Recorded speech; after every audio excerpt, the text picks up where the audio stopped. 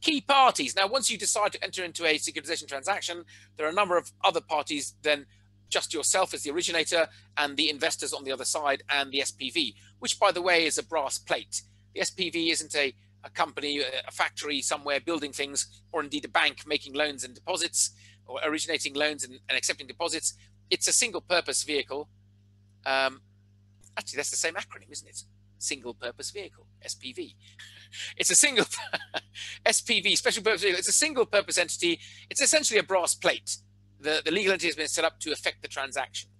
You have some other third parties. The originator I've mentioned, the issuer I've mentioned, the investors are on the right hand side. They're not detailed here, but we've just mentioned them. You have other and uh, other third parties as well. You've got a trustee. Um, in any normal vanilla bond offering, there's a trustee who represents the interests of the note holders. It's the same for a, transac- a securitization transaction. You've got to carry on servicing the assets that you have sold to the SPV.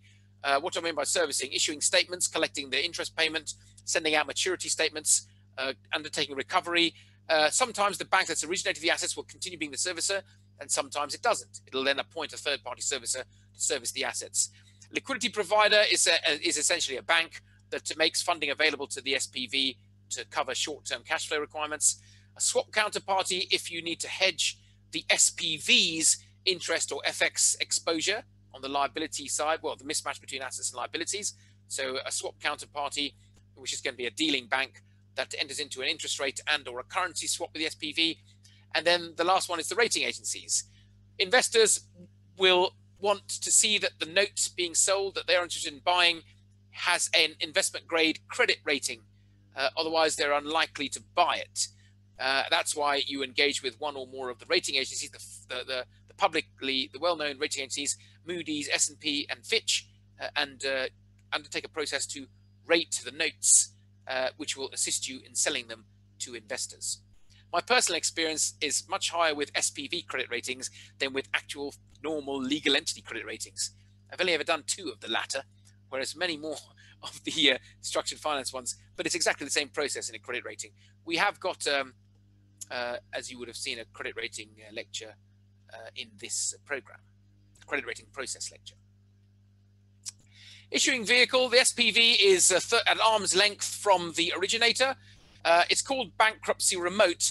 What that means is if the originating institution, the bank, uh, suffers any credit deterioration or indeed bankruptcy, the assets that it's now sold to the SPV are not part of its asset pool, so it won't be able to touch them as part of its uh, recovery or or its wind down, its its administration. That's what bankruptcy remote means. It just means that the the assets on the uh, on the uh, SPV's balance sheet are now unconnected to the originator.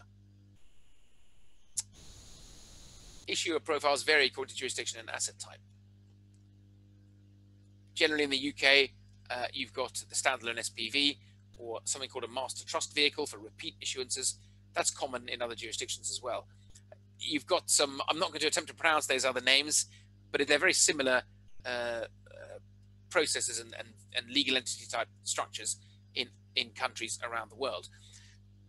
One thing you would have to have in a securitization transaction in place before you could undertake securitization is the appropriate legal framework. You have to have a legal framework that enables an SPV to, to set up to, to buy securities, sorry, buy assets from an originating entity and for the note holders to have recourse to those assets um, if, uh, well, the note holder has exposure to those assets, and if they start to default, the note holder suffers. Uh, but at the same time, it's the class of those, it's the quality of those assets that give the note its underlying credit rating, as well as the tranching. Which is why, if I simply issued a pass-through note, one one class of security on the right-hand side, on the left-hand side were sub-investment grade rated assets, then the note on the right-hand side would be sub-investment grade, unless I applied some credit enhancements to the vehicle. Uh, there are there are different types of credit enhancements one uh, can set up.